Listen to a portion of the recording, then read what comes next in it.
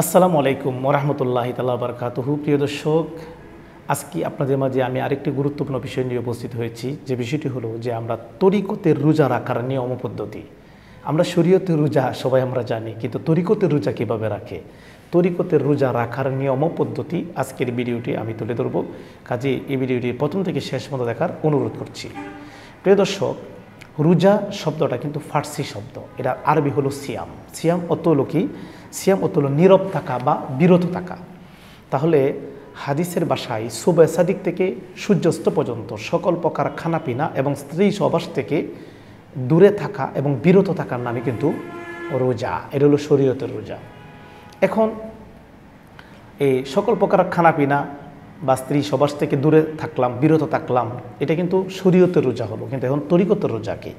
তরিকতের রোজা হলো যেটা মাওলার ধ্যানে খেলে খেলের মাধ্যমে মাওলার স্মরণে থাকা। মানে মাওলার ধ্যান খেলের মাধ্যমে মাওলার স্মরণে থাকা, সেটা হলো তরিকতের রোজা। শরীয়তের রোজাটা হলো সর্বাঙ্গে, আর তরিকতের রোজা হলো সর্ব অন্তরে।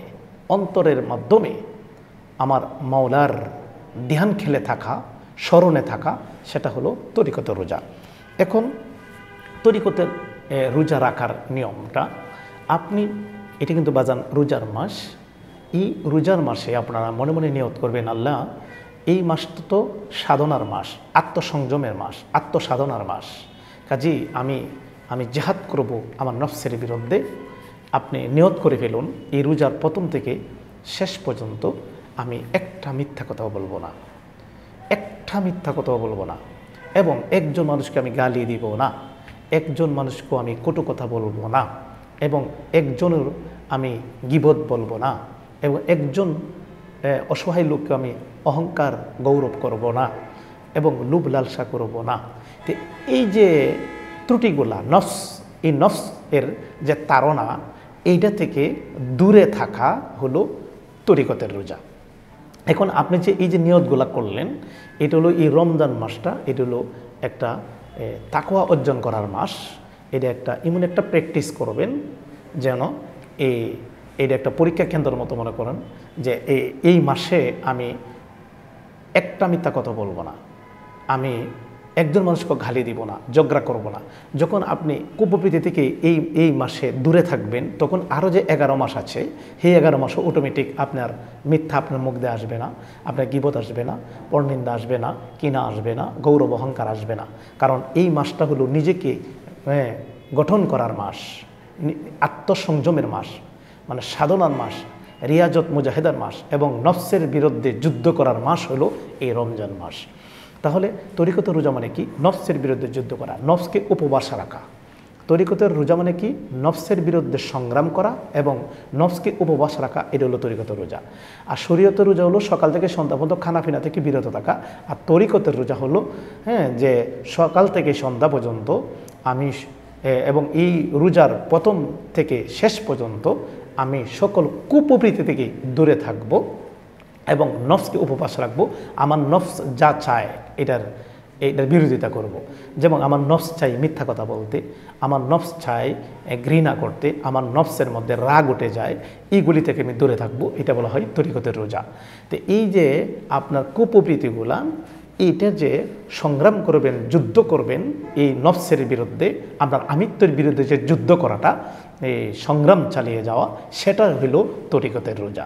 তা আপনারা যদি তরিকতের রোজা রেখে আমিত্বকে জ্বালিয়ে দিতে পারেন, আসলে বাবা, রমাদান শব্দের অত্যই জ্বালিয়ে দেওয়া, পড়িয়ে দেওয়া। তাহলে এই মাসটা যদি আপনারা এই তরিকতের রোজা রেখে নফসকে মানে আপনার নফস বলতে কি বোঝানো হয়?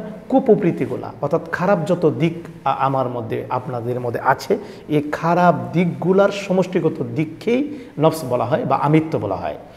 এই নফস, এই নফসের যত তাড়না আছে, এইগুলি দূরে থাকার মাধ্যমেই আত্মসংযম হবে এই মাসে এবং এবং আপনার সাধনা হয়ে যাবে। কাজেই আপনারা যদি তরিকতের রোজা রেখে এই মাসে সাধক হতে পারেন বা এই কুপ্রবৃত্তি দূরে থাকতে পারেন, তাহলে এর পরের মাসগুলো কিন্তু আর আপনার দ্বারা এই অপরাধগুলো হবে না। তাহলে আমরা এই মাসে কিন্তু তরিকত রোজার মাধ্যমে নিজের অন্তরকে পরিশুদ্ধ করা, আত্মশুদ্ধি করার একটা মাসই হলো এই রোজা। তাহলে আমরা শরীয়তে রোজাও রাখব, তরিকতে রোজাও রাখব।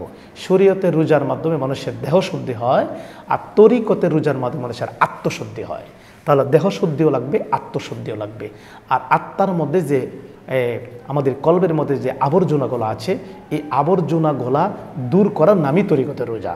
তাহলে বাবা, আমরা শুধু এই শরীয়তের উপবাস থাকার নামে কিন্তু রোজা নয়। তাহলে এটাও লাগবে, ওইটাও লাগবে। শরীয়তে রোজাও লাগবে, তরিকতে রোজাও লাগবে। তাই গাউসবাক আব্দুল কায় জিলানি রেজি আল্লাহ তালু বলেন যে, সকল প্রকার কুপ্রবৃত্তি ও লুবলালসা হইতে বিরত থেকে মাওলার ধ্যান খেলের মাধ্যমে মাওলার স্মরণে থাকাকেই তরিকতে রোজা বলে সিরুল আসরার কিতাবটা লিখেছেন বরফির আব্দুল কাদের জিলানি রাজি আল্লাহ তালু এই কিতাবের মধ্যে কথাগুলো আছে। অর্থাৎ নফসকে উপবাস রাখা, নফসের বিরোধিতা করা এবং নফসকে বিরোধিতা করে একটা কলবকে আত্মশুদ্ধি করা এবং কলবকে পরিশুদ্ধ করাটাই হলো তরিকতের রোজা। তাহলে আমরা যেন শরীয়তের রোজাও রাখি এবং তরিকতের পাশাপাশি তরিকতের রোজা রেখে যেন আমরা আত্মশুদ্ধি করতে পারি এই রোজার মাধ্যমে। প্রিয় দর্শক, আপনারা আজকে এই পর্যন্তই। আপনার কাছে বিদায় করছি। ওয়াকির দেওয়ানা। আনিল আলহামদুলিল্লাহ আলমিন। আসসালামু আলাইকুম।